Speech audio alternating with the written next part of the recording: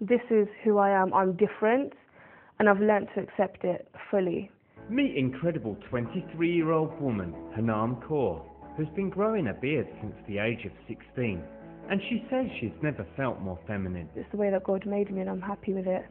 Harnaam from Slough has polycystic ovary syndrome, which can cause excessive hair growth. She was just 11 when it started appearing on her face. I would hide it um, by talking to people with my hands over my face. I used to wax it, and that became really painful, so I would just shave it or use different sorts of creams. Um, I used to bleach it too. Harnaam endured bullying at school and stares from people on the street. The names that people would call me were things like Beardo instead of Weirdo, um, She-Man, She-Male.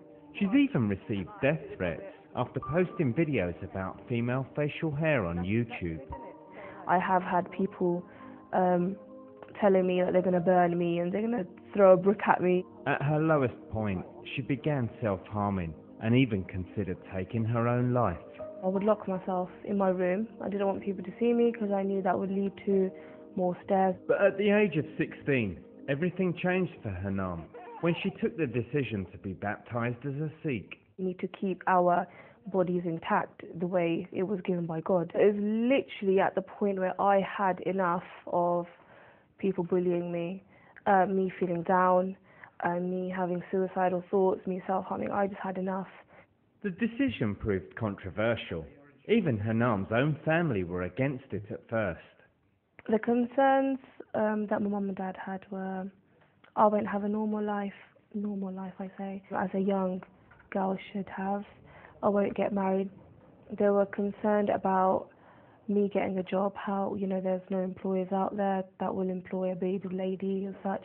But she's found support in her 18 year old brother, Gurdeep, and friend, Surinder. She's happy living her life, does what she wants to do. So it's really good for her. As long as she's happy, that's all I really care about. For me to see without the beard now, I think I'd be shocked. It wouldn't be the same person. So I think having the beard has probably given a lot of um, strength, etc., to be who she wants to be, to say what she wants to say, and you know, just be happy. Harnaam still has to endure stares in the street and is often mistaken for a man. But she's learned to accept it. I do play around with it a little bit because sometimes when I go to the public toilets and someone goes to me, um, oh, this is a women's, and I actually put on a deep voice and I say, no, this is for men's. so I kind of play around with it, and it's funny because we all end up laughing. Today, things are looking up for Harnaam. She works as a primary school teaching assistant, and she's received dozens of messages from women and men around the world who say they love her beard. One guy saw my picture and he goes to me, will you marry me?